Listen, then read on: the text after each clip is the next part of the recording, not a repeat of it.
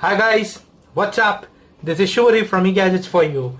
Now in this video, I'll show you a complete review of the new Samsung Galaxy Tab A. Have purchased this device and been using it for the past few days and also testing it randomly extensively for the full featured video of Samsung Galaxy Tab A and here it is. Before starting anything else, let me give you a physical overview of the full handset.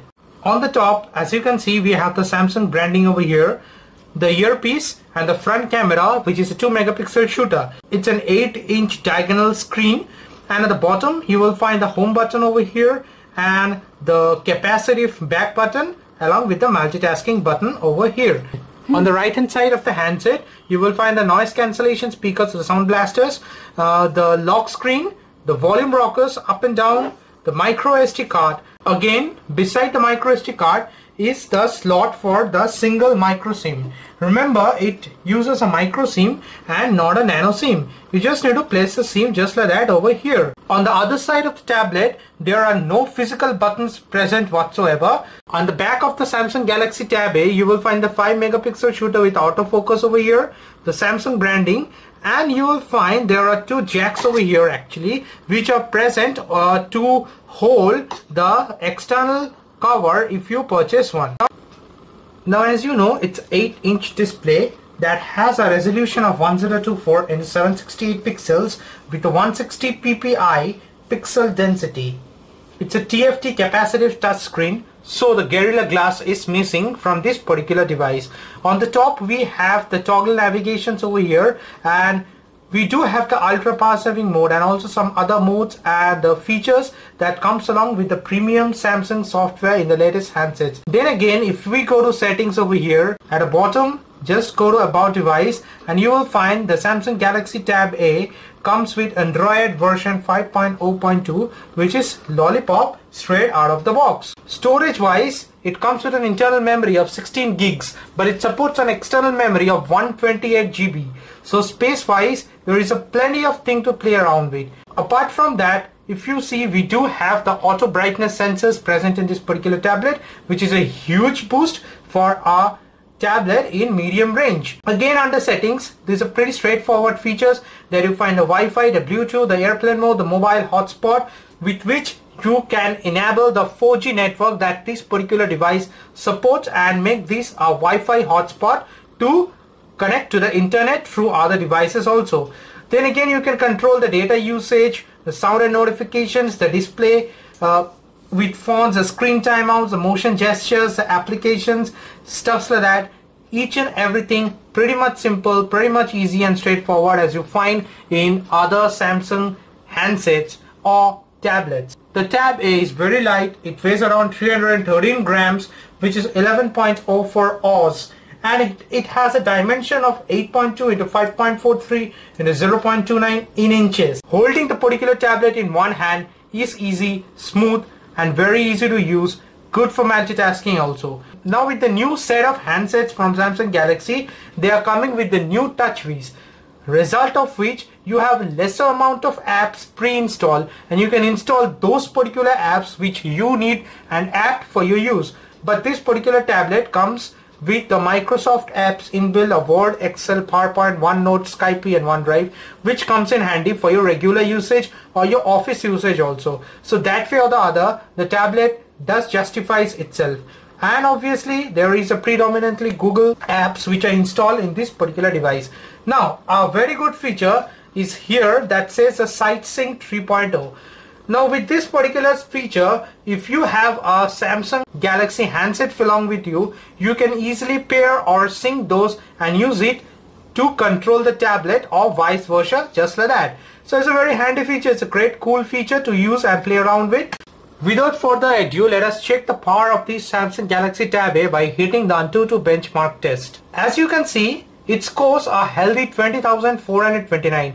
Keeping in mind it's a tablet, I will not say that it's a best at the end of the day but it's something I can live around with because this particular tablet is not that much expensive also and it's targeted for the medium range categories. So that way or the other it's great. Now if we dig deep into this particular feature with the details section over here you will find that the Samsung Galaxy Tab A runs on a quad-core processor that is clocked at 1.2 gigahertz.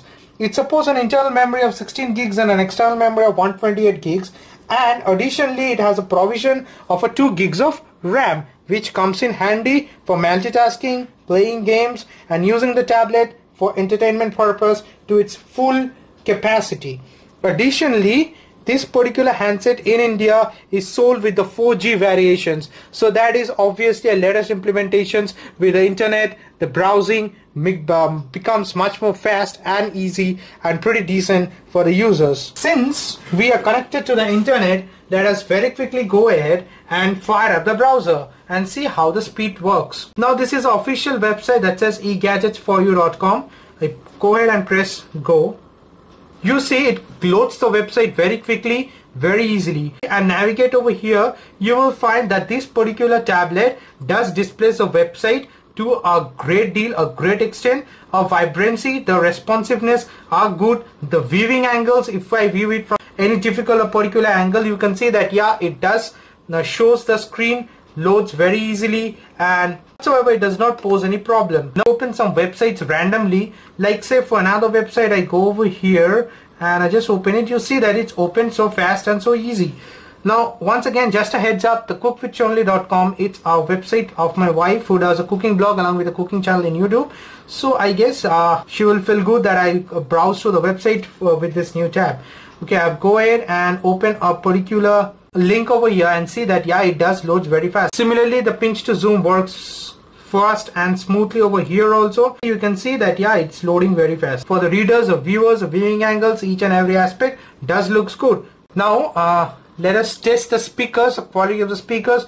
We're opening a video in YouTube. Now once again it's a video from my YouTube channel. Let me go ahead and play. Before anything else let me just go ahead and check the settings the quality yeah it's set to 720p so let's hit play uh, keeping the volume to maximum. Yeah. What's up? It's time for another flagship model from Samsung the Samsung Galaxy S6 been testing this device for the past two weeks.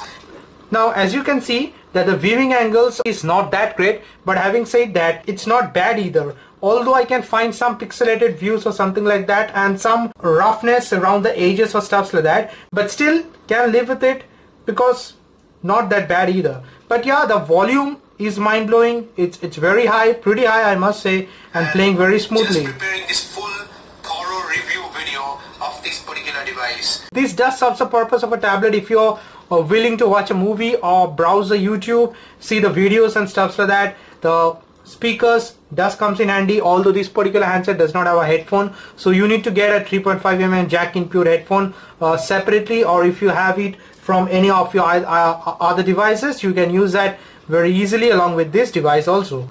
This particular tablet has a 4200 that is 4200 milliampere of battery which is non-removable and it does gives a talk time of 11 hours and music play of up to 120 hours Believe me, on a full charge of 100%, I have used this tablet non-stop for two days. Now it does gives a very good battery backup. So that part and that aspect, I must say Samsung has improved leaps and bounds with this particular tablet. Although I have said previously also that I am not a huge fan of the cameras in tablet, whether be it uh, Apple iPad or uh, Samsung Galaxy Tab also. Similarly for this also it has a 5 megapixel shooter at the back with no LED flash but an autofocus and at the front it has a 2 megapixel camera. Let us go ahead and shoot some live pictures and see how it comes along. Although it's night condition over here, lights are not that great. So as you can see I have put an object over here, use the tap to focus and shooting some pictures. You will see that this particular camera does shoots the objects very easily and very quickly. Although there are modes that are available over here. As you can see you have the auto mode the panorama mode the continuous shot the beautiface the sound and shot the sports mode. So this particular mode does comes in handy but i'm not sure whether do you use the camera for a tablet for extensive use or something like that. Still they have given you some very beautiful and very wonderful features to use over here. That like the timings that the timer is over there the settings where you can play along with the picture size video size the video mode and mind you the back camera shoots a video of 720p so that's decent I must say. Now let us quickly go ahead and see how the pictures came along. This particular uh, device I have used the focus. I have used this particular region to be the focal point. And if I zoom in you will see that yeah you can see it very brightly very clearly the pictures. But still there is a bit of lag a bit of roughness I must say. A bit of haziness in this particular camera. Obviously that is understandable because it's a firstly it's a light low light condition over here. And secondly does not use a flash. It uses autofocus only out of the back 5 megapixel camera. Still it has done a decent job. In the daylight condition as you can see it does take some beautiful some good pictures.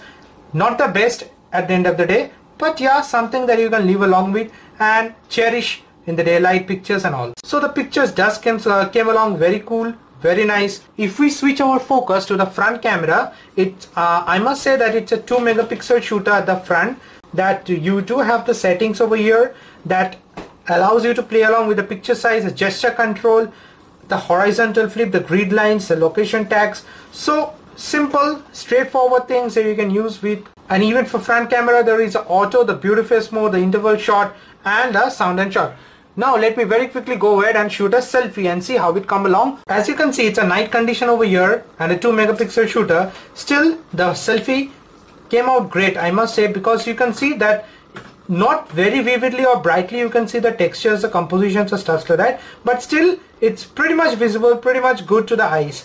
I should say that the front camera does outperform beyond my expectations and imaginations with the 2 megapixel shooter without a flash and with the in a low light condition as well.